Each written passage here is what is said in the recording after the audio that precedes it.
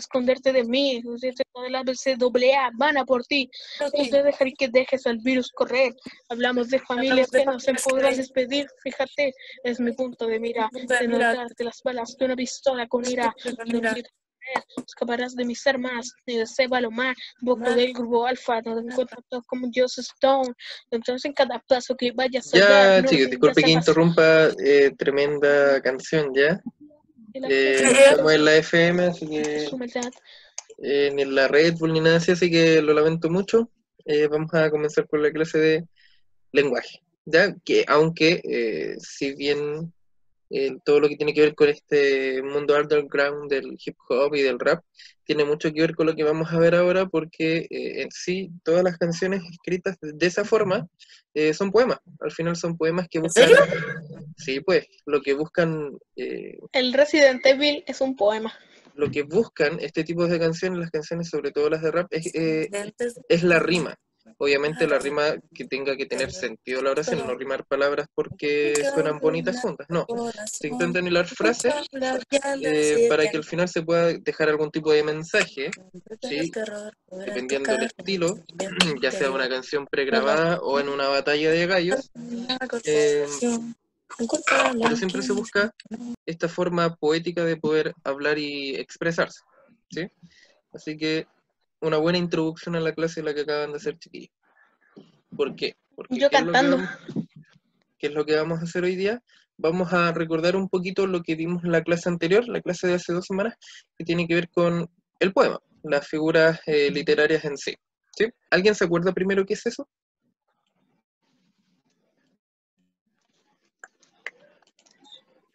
Mientras recuerdan, voy a presentar un PowerPoint. Profesor, yo me acuerdo. Déjeme subir el volumen. Álvaro Solís le habla. Lo escucho, díganos. Eh, yo me acuerdo de qué eran. Sí, lo estamos escuchando, dígame. Eran las figuras literarias eran como cosas que contenían, por ejemplo, la, eh, que contenía algún texto. Por ejemplo, la hipérbole, que era una exageración. Maravilloso. Por ejemplo, también el, la personificación. Ya. Y la... ¿La qué? La onomatopeya. Excelente, muy bien. Ya nos adelantaste harto, harto trabajo con todo lo que dijiste, ¿ya? Eh, no voy a ahondar todavía en todo lo que dijiste porque la idea es que vayamos por parte, pero todo lo que dijiste está correcto, maravilloso, muy, muy, muy bien. ¿Ya? Eh, como bien dice el título, acá figuras literarias, como lo hemos hecho en todas las clases que hemos tenido, yo este mismo PowerPoint después eh, lo voy a transformar en un documento y lo vamos a enviar, yo se lo envío a su profesora jefe y ella se lo envía a ustedes, ¿ya? Para que en esta parte de la explicación y de la interacción que vamos a tener, solamente preste atención, ¿ya? Más allá de escribir cosas. Eso sí, al final eh, tenemos que escribir unas cositas chiquititas porque es la actividad que vamos a, hacer con esta clase de hoy día. Bueno, entonces, como título tendríamos que colocar figuras literarias, pero eso lo vamos a hacer en otro momento. Si esto me ayuda. Recordemos lo que le había dicho, lo que le había preguntado, ¿qué son las figuras literarias? Como bien decía Álvaro, son estas cosas ¿ya? Que ayudan un poco a los poetas, a las poetisas, eh, mujeres y hombres. A, cantar. ¿Ah? A cantar. Sí, podríamos decirlo de cierta forma, porque los poemas, eh, si bien no todos son cantados, no sé si es que alguien ha escuchado la voz de Pablo Neruda, en realidad era súper fome para, para decir un poema, declamar un poema Pablo Neruda, eh, pero sí, este, todos los poes, todas las poemas, todos los poemas, perdón, y la poesía tienen un ritmo, ¿ya? Así, igual como, la, como lo tienen las canciones, ¿ya? Eh, pero una pregunta súper, súper importante, que es la segunda también que aparece acá. Eh, ¿Para qué sirven las figuras literarias? ¿Cuál es el objetivo de una figura literaria? ¿Alguien sabe? ¿Alguien lo recuerda? ¿Narrar una historia? Eh, ¿Los poemas narran historias? ¿Cuál es el objetivo principal de la poesía de los poemas? Profe, ¿qué dijo que no, no le entendí? Expres- Transmitir sentimientos. expresar un sentimiento. Exactamente, creo que me contestó Martín Carvajal y Álvaro Solís, ¿o ¿no? Sí. Que dijeron expresar un sentimiento. Exactamente. Eh, los poemas tienen que expresar sentimientos, sí o sí, no tienen otra opción. Para eso se inventaron. Por lo tanto, un poema no te va a narrar una historia. Ya puedes que sí, que cuente algo, pero no es su objetivo principal. El objetivo principal de los poemas es expresar algún sentimiento. Bueno, teniendo claro eso, estas figuras literarias, ¿para qué sirven entonces? Para ayudar a transmitir el sentimiento. Bien, correcto. Ayuda a transmitir el sentimiento. ¿Qué más podrá hacer?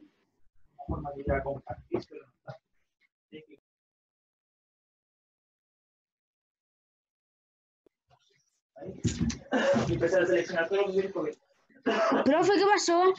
Estoy escuchando. Porque me, eh, me dijeron de que eh, Álvaro fue el, el- el que dijo de que ayudan a, a transmitir estos sentimientos a las figuras literarias. Pero ¿para qué más sirven? Y en esta parte ustedes tienen que contestar. Se supone. Deberían.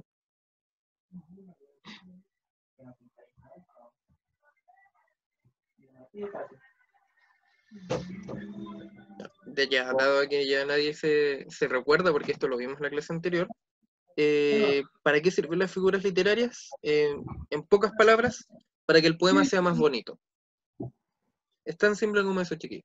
Una figura literaria o varias figuras literarias están dentro de un poema para que el poema suene mejor, para que sea más bonito, más bello. Porque es distinto decirle a una persona, qué bonito tus ojos, a decirle a esa persona, tus ojos tan hermosos como el cielo azul, por ejemplo. Claramente la segunda sale, suena más bonito. Ese sería un poema de amor. Claro, sí, así- algo así por el estilo. Uno cuando está enamorado, eh, a veces Oh. se escribe hartas cosas, suele, suele escribir algunas cositas así, ¿ya? Eh, y si es que conocen alguna figura literaria, Álvaro ya eh, hace un momentito atrás ya nos había nombrado tres. No sé si es que alguien recuerda las otras dos que también habíamos visto en la clase anterior. ¿Cuál es? Álvaro nombró la onomatopeya, nombró la hipérbole, ¿y cuál más nombró Álvaro? La, perfa- la personificación. Y la personificación. Nos faltan dos. ¿Alguien recuerda cuáles son? No. No. No, pero tenemos un trabajo ya bien avanzado con lo que eh, nos había dicho Álvaro. Eh, ¿Cuáles son las figuras literarias que nosotros habíamos visto? Son las siguientes.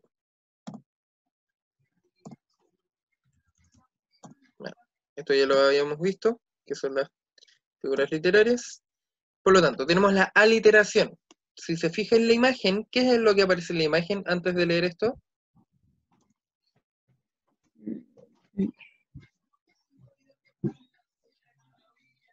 ¿Quién sabe lo que aparece en la imagen?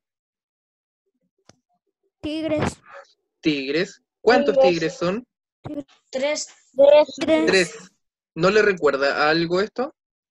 Tres Al trabalenguas. tragaban en un trigal. Exactamente. Tres tristes, Tres tri- tristes tres tigres. tri- Ah, tres tristes Tres tigres Tres- triga- tres tra- tragaban trigo en un trigal. Tragaban trigo en- Para que nos acordamos siempre de la literación, la literación tiene completa relación con los trabalenguas, ¿ya? Tres tristes tigres trigaban trigo en un trigal, ¿ya? Por ejemplo. ¿Qué es la literación? Como bien menciona acá, es la repetición intencionada, es decir, con intención, de un sonido. ¿Sí? En este ejemplo dice el ruido con que rueda la ronca tempestad. ¿Cuál es el sonido que se repite? El ruido que rueda la ronca. Profe, dicen en el grupo que el Denzel no se puede conectar. No se puede conectar. Eh, yo por si acaso, yo estoy siempre atento al chat y a la sala de espera y en este momento en la sala de espera no tengo a nadie. ¿Ya? Así que si no se puede conectar debe ser algún tipo de problema de eh, conexión para que le digan que eh, a lo mejor si se met, si se sale y vuelve a intentar entrar, o si lo hace a, a través de otro dispositivo, o si en vez lo hace eh, con la clave y el código que se envía también para la- las clases. ¿Ya? Ya. Eh, volvamos a esto. El ejemplo, el ruido con que rueda la ronca tempestad. Sabemos que son los sonidos. ¿Cuál es el sonido que se repite en este ejemplo de acá? Eh, los tres tigres. Seguro, porque aquí en el ejemplo en ningún momento dice tigres. Se repite la R. Exactamente, pero ojo, ojo. Eh, yo sé que hay, hay palabras un poco complicadas, por ejemplo, si yo le hablo del fonema y del grafema, usted no, no lo va a entender mucho, pero en realidad es bastante simple. El grafema tiene que ver con los grafos, con los dibujos, el símbolo de la letra, y el fonema tiene que ver con los sonidos. Por lo tanto, si yo hablo de sonido, el sonido no es la R. ¿Cómo suena la R? Exactamente. Por lo tanto, si yo pregunto por el sonido que se repite en este ejemplo, ¿qué sonido tendríamos que haber hecho? Maravilloso. ¿Sí? Esa es la idea. Ahora, segunda eh, figura literaria que habíamos visto en la clase anterior. Aquí, le vamos a ver. La onomatopeya, como bien nos había dicho eh, Álvaro delante. ¿Sí? Eh, fíjese también en la imagen. Estas son imágenes que suelen aparecer, no sé si es que alguien ha tenido la oportunidad de leer algún tipo de cómic, que aparecen estos, estas, estas imágenes así. ¿Qué es lo que intentan eh, mostrarnos estas imágenes? Los sonidos. Sonidos. Exactamente, sonidos. Y como bien dice la onomatopeya, esta figura intenta imitar los sonidos con las palabras, ¿ya? Están en Condorito. Exactamente, un, un clásico de, nuestro, de nuestros cómics chilenos. eh, Estoy, estoy y ahí aparece mucho, si es que no me equivoco, a ver, si es que está aquí, espérame que yo tengo que correrlos a ustedes. No, no está, pero aparece mucho el plop, que se supone que es cuando se caen de espalda. ¿Ya? Aquí el ejemplo dice, el kikiriki del gallo me despertó. ¿A qué se refiere con kikiriki?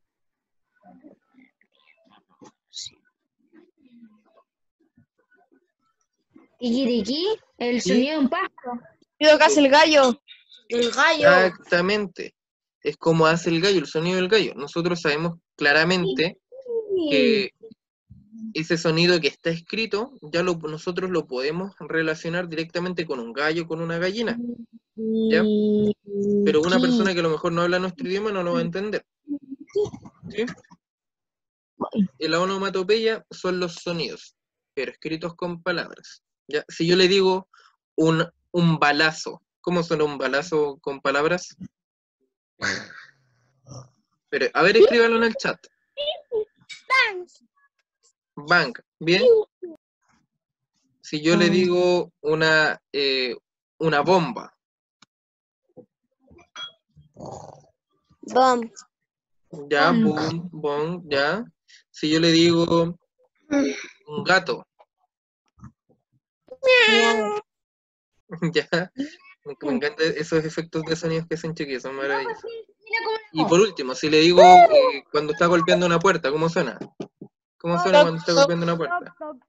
Toc, toc. Toc, toc. Toc, toc. Exactamente. Muy bien, chiquillos. Estamos bien, bien, bien. Estamos súper bien. ¿Alguien en la puerta? Pasamos a la siguiente figura literaria. La personificación. Fíjese en la imagen. Mire siempre primero la imagen. ¿Qué es lo que aparece en la imagen? Eh, una, tu- una, ¿cómo se- una nube roqueando. Ya una nube primero y roqueando. Ya nosotros asumimos que está roqueando porque está como con una guitarra eléctrica. Aunque en realidad eso parece más un bajo que una guitarra. Como un algodón en medio de un concierto. Ya. Bien. Un algodón en medio de un concierto. Dice Luther. ¿Por qué esta- aparece esta imagen? Porque tiene relación directa con también esta, este, esta figura literaria, la personificación. Se atribuyen características animadas, vida, sentimientos, palabras, a objetos inanimados o seres no humanos. En este caso, si es una nube, eso es un algodón. El algodón o esta nube, ¿podrían estar tocando una guitarra? No. ¿No es cierto? ¿Quién sí lo podría hacer? Humanos. Persona. Los humanos, excelente, muy bien. La personificación entrega cualidades humanas a cosas que no son humanas. Por ejemplo, en este caso, esta nube o algodón. No, no ¿Ya? sé si. El ejemplo dice, la casa se quejaba por la edad. Primero, ¿una casa se puede quejar? No. Oh, A lo mejor la casa era de madera y usted a veces cuando pisa la madera suena un poquito, rechina. A lo mejor como la casa es un poquito más vieja, suena más. Entonces a lo mejor por eso dice que la casa, la casa se estaba quejando por la edad. O en estas típicas películas eh, de terror que son como más infantiles, eh, siempre suena el, chir- el chirrido de la puerta cuando se abre o cuando se cierra. así, Annabelle. Por ejemplo. Me encantó ese Eso efecto de sonido, gato. fue demasiado real, chiquillo. Eh, seguimos con la siguiente eh, figura literaria. La comparación. Aquí, en la imagen, ¿qué es lo que aparece? Una manzana. dos manzanas. Dos manzanas, están comparando dos manzanas. En este caso no es tan difícil entender esta figura literaria porque el mismo nombre lo dice. Es una comparación. Se están comparando dos o más cosas. ¿Sí? Eh, como dice acá, dice, establece una relación de semejanza entre dos elementos. ¿Sí? Cuando usted vea una comparación, la mayoría de las ocasiones va a utilizar estas palabras que está acá, como, cual, semejante a. ¿Ya? Ejemplo, estaba furioso como un volcán en erupción. O sea, aquí está la palabra que nos están diciendo. Que la palabra que nos están diciendo es esta palabra acá. ¿Cómo? Ahí está, ¿ves? profesor, ahí también hay una personificación porque los volcanes no se enojan. Claro, exactamente. Pero aquí lo que predomina, lo que está predominando, es esto que aparece acá. Lo que yo, te- lo que yo le estaba diciendo. Esto de aquí. El. ¿Sí? Porque está comparando a una persona que está furiosa con un volcán en erupción. Es como este sentimiento de rabia de la película. Chiqui, espérenme un segundito que no sé quién tendrá micrófonos activados, ¿ya? Dime algo que seas bueno. Eh, chiquillos, en el chat, por si acaso, yo les he dicho un montón de veces, la clase es grabada y el chat también queda grabado con sus nombres. Ya nosotros estamos hablando de figura literaria y en el chat hace rato que estoy viendo que no están hablando eh, más que otra cosa. Así que esto es lo mismo que una clase chiquilla. Así que pongámonos bien, bien atentos con todo esto. Ok, yo ya paro. Como le estaba diciendo, ahí dice clarito que Carvajal hizo esa línea. Eh, estaba furioso como un volcán. En este caso, claro, como bien nos dice Álvaro, podría ser una personificación porque un volcán no puede estar furioso. Pero sí podemos ver cómo un volcán hace erupción, así como que explota. ¿Ya? Por lo tanto, podemos eh, comparar a una persona que está furiosa, así como explotando, entre comillas, eh, con un volcán. En este caso, la palabra que aquí aparece es clave. Por eso es súper importante que leamos siempre con mucho cuidado cuando se trata de estas cosas, ¿ya? Pasamos a la siguiente figura literaria, No, me he pasado. la hipérbole. Raúl, yo te estoy silenciando constantemente el micrófono y lo vuelves a abrir. Eh, por favor, no lo vuelva a abrir hasta que respondamos a algún tipo de pregunta, ¿ya? Porque te pones a teclear o comienzas a, a leer y interrumpe un, un poquitito. Ya sé que te voy a silenciar el micrófono otra vez, ¿ya? La hipérbole, aquí la imagen a lo mejor no es tan, tan llamativa, porque claro, ¿qué es lo que aparece en la imagen? Ahora sí pueden abrir los micrófonos.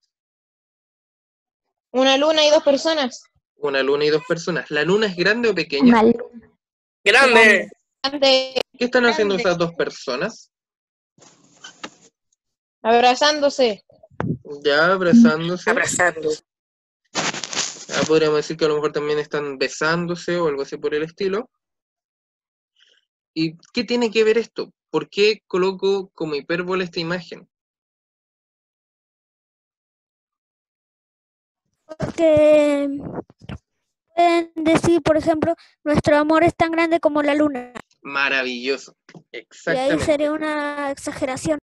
Exacto, exactamente. Muy, muy bien. Está súper atento. Tiene una carita feliz para usted. La hipérbole, como bien nos dice Álvaro, es una exageración. El ejemplo nos dice sonrisa de oreja a oreja. A nadie, absolutamente a nadie, le va a llegar la sonrisa de oreja a oreja. Es A menos imposible. que se corte la boca. Fisio- cla- Profe. claro, pero dudo que esté sonriendo mientras se esté cortando la boca. Profe, por ejemplo, la otra, la otra era una exageración. Por ejemplo, voy a, voy a explotar como un volcán. Porque Claro. enojado. por ejemplo, y también podría ser un poco exagerado, ¿ya? Eh, Por eso igual siempre es importante leer, chiquillos, porque al decir el cómo, ya se elimina el resto de las, de las figuras literarias y la que predomina es la comparación, ¿ya? En este caso, sonrisa de oreja a oreja. Nadie nunca va a sonreír de oreja a oreja. Fisiológicamente es imposible, ¿ya? Puesto que nuestra boca no llega de oreja a oreja. A lo mejor lo que quiere decir es que estaba súper contento. A lo mejor, quizás, no sé, si vemos esta imagen, podemos decir que lucharon mucho tiempo por poder estar juntos y por fin lo lograron. Por lo tanto, están felices y están tan felices que están sonriendo de oreja a oreja. ¿Ya? Es como una expresión, no es que lo estén haciendo literalmente. Exactamente. Es como cuando yo digo, oh, tengo tanta hambre que me comería una vaca. Es imposible comerse una vaca solo, de partida, a no ser que lo haga eh, en mucho tiempo. ¿Ya? O un caníbal. También, aunque lo- el, el canibalismo tiene que ver con comerse a alguien de su propia especie. En este caso sería humanos comiéndose humanos. Es cierto. ¿Ya? Eh, chiquillos, de ¿Quieren nuevo saber el si un caníbal no come vaca también? por favor. En ese caso sería carnívoro, que es distinto. Ah, sí, es muy distinto. Caníbal a carnívoro. No más. A lo mejor si la vaca come vacas, ahí podríamos hablar un poco de... Por ejemplo, en Perú mi, mi abuelo ten- tiene varios pollos ¿Ya? y estábamos cortando pollo y lo tiraron, eh, se les cayó al suelo un, un pedazo de cuero de pollo y los pollos van y se lo comen. Ahí podríamos Eso es hablar un poco, de, canibalismo. un poco de ¡Qué canibalismo. ¿Ya? Eh, ya, pasemos a lo siguiente. y Excuse si no me me. equivoco, dígame, What the hell? ¿qué dijo? Excuse me, what the hell? Eso es inglés. Your English is, inglés, is, is inglés. wonderful, ¿eh? No es clase de inglés, pero estoy feliz por saberlo. Ya, pasamos a lo siguiente y aquí sí vamos a necesitar cuaderno y lápiz, chiquillos. Tiene, Cuaderno y lápiz. sí, un minutito, chiquillos, para tener a- al ladito suyo cuaderno y lápiz. Un minutito. Ya les voy a dar el, el minutito para que eh, se paren a buscarlo. No corran, no se vaya a caer. Profe, No, sí sabe, pero nadie te pregunta. No, Profe. sí, lo que pasa es que se me está yendo el internet Profe. de la mañana, también tuve problemas, por eso hice la flechita sin querer, porque se me pega y aprieto y aprieto. Ya, no se Profe, preocupe, buscar un sí, cuaderno y pero- un lápiz, espérame. gracias por En la avisar. mañana también tuve problemas en la misma clase. Voy a hacer con, con el teléfono, aprovechando que, mi- que tengo al lado. Porque cuando Profe, Eh, Aileen, trate de no hacerlo con el tel- teléfono al lado, por favor. ¿Ya? Le escuchamos, justo se le abrió el micrófono. mientras ustedes estaban hablando, ¿Sí? igual estoy escuchando, pero estaba jugando. Y estaba jugando un juego de terror. ¿Ya? Y para sentirme un poquito más acompañado, ya que estaban acá en la clase, me, me puse a jugar. Porque me da miedo. Gracias por su comentario. A ver quién. Espérame. Maximiliano. Maximiliano fue el que comentó eso, ¿cierto? Sí. Profe, Sí. ¿necesitamos el cuaderno de lenguaje o cualquiera? En lo posible el de lenguaje, pero si no lo tiene a la mano, cualquiera por mientras, después lo pasas al link, ¿ya? Ah, ok, gracias. No hay de qué. Ya, chiquillos, vamos a empezar. En este momento, absolutamente todos con el micrófono apagado. ¿Ya? La idea es que lo haga solito y solita. Vamos a corregir de inmediato, ¿ya? Eh, ¿De qué se trata el ticket de salida? Esto es lo que yo coloqué acá. Usted solamente va a colocar la respuesta en su cuaderno. No necesito que copie todo lo que está acá, ¿ya? Solo necesito la respuesta, ¿sí? Esto se llama ticket de salida y con esto nosotros terminamos la clase. Usted, usted tiene que hacer lo siguiente. Voy a explicar primero y después usted lo hace. Aparecen cinco versos o cinco oraciones en los que en cada uno, en los que en cada uno de ellos hay predominante solamente una figura literaria. Nosotros hemos visto, nosotros hemos visto cinco figuras literarias, ¿ya? Hemos visto cinco figuras literarias. Aquí hay cinco oraciones. No sobra ninguna, ni falta ninguna, ¿ya? ¿Qué es lo que tiene que hacer usted? Va a colocar número uno, dice, estoy tan feliz como pez en el agua. Y usted en vez de escribir esto va a escribir directamente qué figura literaria es. ¿Se entiende? Más Por o ejemplo. menos. Más o menos, yo tengo una duda. Repite el profe que yo estaba concentrado a buscar mi cuaderno. Me voy a dejar de compartir la pantalla, quedan seis minutos, sí, de más razón. Voy a dejar de compartir y les voy a mostrar, y les voy a mostrar un ejemplo. ¿Ya? Yo tomo mi cuaderno, sí, tomo mi cuaderno. Voy una hoja que esté. Tomo mi cuaderno, ¿cierto? Tengo mi cuaderno ahí. Tengo mi lápiz. ¿Cierto? Hay cinco oraciones, entonces yo escribo del 1 al 5. 1, 2, 3, 4, 5. Escribo del 1 al 5. Ahí está. ¿Sí? Leo la primera oración. Ah, yo considero a lo mejor que es una hipérbole, entonces solamente escribo hipérbole. ¿Ya? Ah, ya, ya. Ya entendí. ¿Entiendes? Sí. Solamente se escribe la respuesta y no la frase. Exactamente, Ah, solamente la respuesta. Ah, fácil. Solamente la respuesta. profesor, ya. ¿Ya? ¿Estamos todos claros con eso? Sí, ¿puedo compartir la Ah, ya, pantalla? ya, ya. Sí, ahora voy a volver a compartir la pantalla. Entonces, yo voy a colocar cronómetro, ya porque nos quedan cinco minutos de, de clase. Van, van a leer todo esto y van a colocar, van a tener solamente tres minutos para hacerlo a partir de ahora ya. Tres minutos, chiquillos, el tiempo está Profe, esto, profe, ¿esto es con corriendo. nota o no? Profe, ¿esto es con nota o no?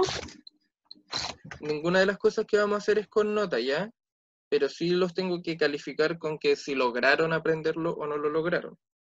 Eso también en- al final puede significar alguna nota.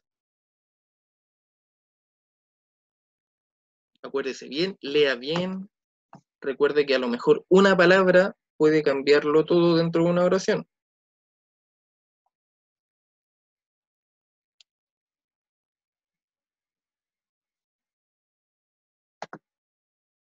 La primera dice, estoy tan feliz como pez en el agua. La segunda dice, el perro de Roque no tiene rabo porque Roque se lo ha cortado. La tercera dice, estaba todo en silencio, solo se oía el tic-tac de un reloj. La cuarta dice, Va difícil, a ver. Raúl, acuérdate, si, eh, micrófonos en silencio. Esto es como una prueba, ¿ya? Entre comillas, una prueba. Es una tarea chiquitita. La 4 dice, la luna se reía a carcajadas.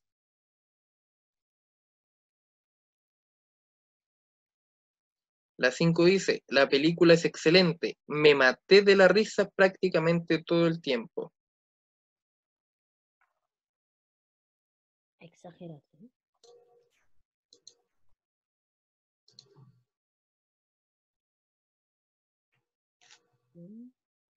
Profe, si nos equivo- equivocamos, no importa. No, no se preocupe porque vamos a corregir de inmediato. Ya, bueno.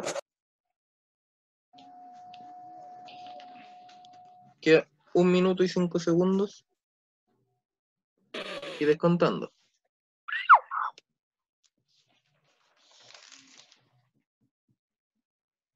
Para terminar de hacer la actividad.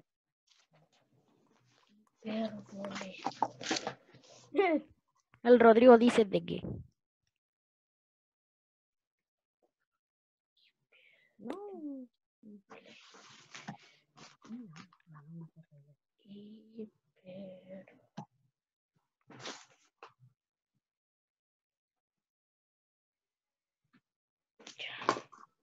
Veinticinco segundos.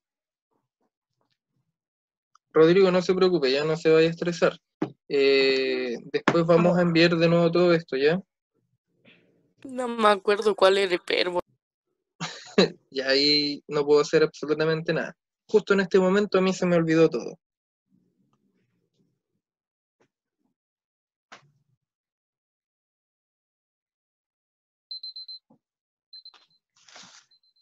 Tiempo, chiquillos. Y vamos a revisar, ¿ya? Usted ahí tiene que ir chequeando si es que está buena, si es que está mala, si es que se equivocó, si es que cometió algún error, simplemente la corrige al ladito, ¿ya? Así que no, no se preocupe, aquí estamos todos aprendiendo. Corrección entonces. La número uno dice, estoy tan feliz como pez en el agua. Si usted se fija muy bien, si usted se fija bien, acuérdese de las palabras como esta. Solamente por colocar esa palabra, eso significa que ya es una comparación. Entonces, la número uno sería comparación.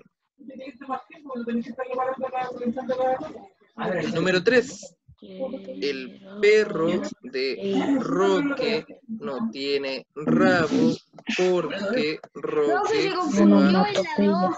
cortado. No, no, ¿ya? La número dos, si usted se fija, se van repitiendo los sonidos. Todo el rato, la R, la R, ¿sí? se va a cortar. Por lo tanto, sería una aliteración. ¿Ya? Número uno, comparación. Número dos, aliteración.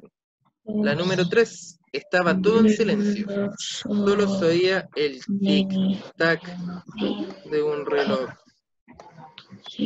Profe, se va a cortar. Chao. Esa es una onomatopeya porque es el sonido de algo. La luna se reía. La luna sabemos que no se puede reír. Es una Yo no. La que nos queda es una hipérbole. ¿Por qué? Porque dice me maté de la risa. Esa ya está incluso marcada desde antes. Exageración. Na, na, na, na, na, na, na, na, na, na, na, na, na.